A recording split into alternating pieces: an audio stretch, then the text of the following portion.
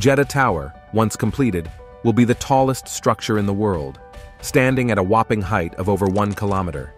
It is a story of human ingenuity, modern engineering marvel, and a testament to the determination of man to push beyond all the limits. In this video, Global Money Matters presents you the journey of Jeddah Tower, from its history, the cost it took to build it, and many more interesting facts about this megastructure.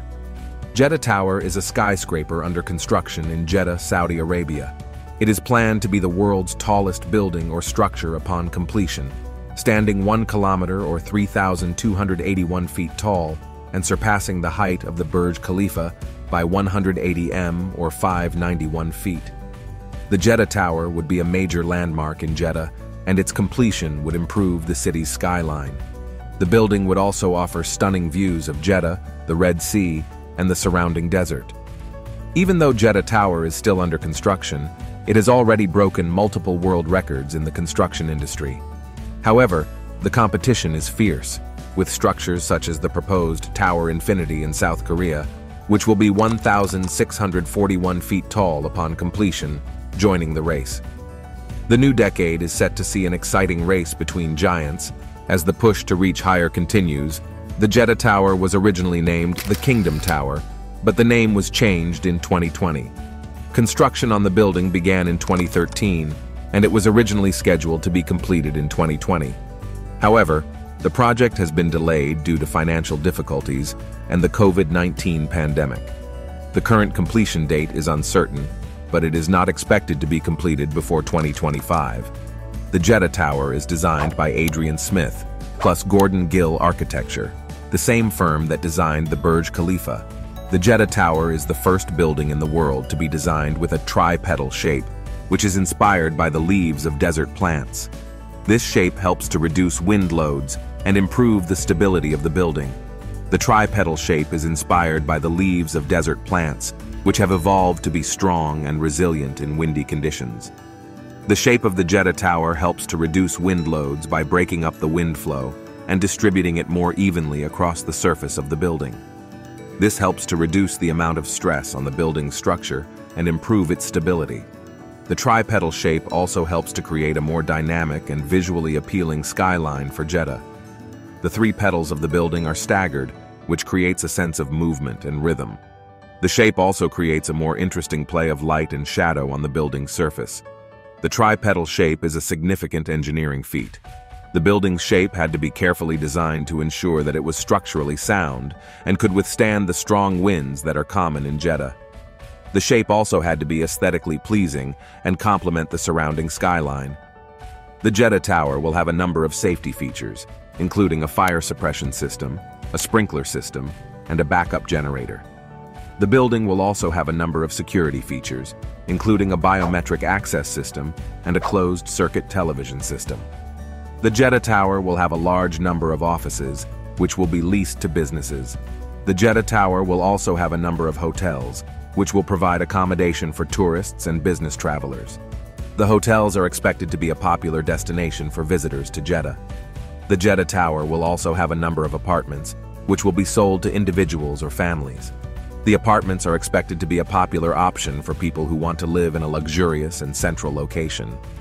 The Jeddah Tower will also have a number of retail stores, which will sell a variety of goods and services. The retail stores are expected to be a popular destination for shoppers. The Jeddah Tower will also have a number of entertainment venues, such as a cinema, a theater, and a bowling alley. The entertainment venues are expected to be a popular destination for people who want to relax and have fun. The Jeddah Tower will have 167 floors, including 124 hotel rooms, 42 residential floors, and three floors for observation decks. The building will also have a shopping mall, a number of restaurants, and a variety of other amenities. The Jeddah Tower will have the world's highest observation deck, which will be located on the 167th floor and will offer stunning views of Jeddah, the Red Sea, and the surrounding desert. The Jeddah Tower will use a number of innovative technologies to reduce its environmental impact. These include a rainwater harvesting system, a solar panel array, and a green roof. The Jeddah Tower is expected to be one of the most energy-efficient buildings in the world. The Jeddah Tower will have a rainwater harvesting system that will collect rainwater from the roof and store it in tanks. The water will be used for irrigation, toilet flushing, and other non-potable purposes. This system is expected to save the building millions of gallons of water each year. The Jeddah Tower will have a solar panel array that will generate electricity from the sun. The electricity will be used to power the building's lights, elevators, and other systems. This system is expected to save the building millions of dollars in energy costs each year. The Jeddah Tower will have a green roof that will help to insulate the building and reduce its energy consumption. The green roof will also help to improve air quality and provide a habitat for birds and other wildlife. In addition to these features, the Jeddah Tower will also use a number of other energy-efficient technologies, such as energy-efficient lighting, motion sensors, and smart thermostats. These technologies are expected to help the building reduce its energy consumption by up to 50%. The Jeddah Tower will have the world's fastest elevators. The elevators will travel at a speed of 10 meters per second, or 33 feet per second, which is twice as fast as the elevators in the Burj Khalifa. The elevators will be manufactured by ThyssenKrupp, a German elevator company. The elevators will be able to travel from the ground floor to the top floor in just 56 seconds. The elevators will be able to carry up to 50 people each. The elevators will be equipped with a number of safety features, including a fire suppression system and a backup generator. The Jeddah Tower's elevators are a significant engineering feat. The elevators had to be carefully designed to ensure that they were safe and could withstand the high speeds. The elevators also had to be designed to fit within the tight space of the Jeddah Tower's core. The Jeddah Tower's elevators are expected to be a major tourist attraction. Visitors will be able to ride the elevators to the top of the building and enjoy stunning views of Jeddah and the surrounding area. The Jeddah Tower is a significant example of how innovative technologies can be used to make buildings more energy efficient. The building is expected to set a new standard for energy efficiency in tall buildings, and it could inspire other buildings around the world to adopt similar technologies.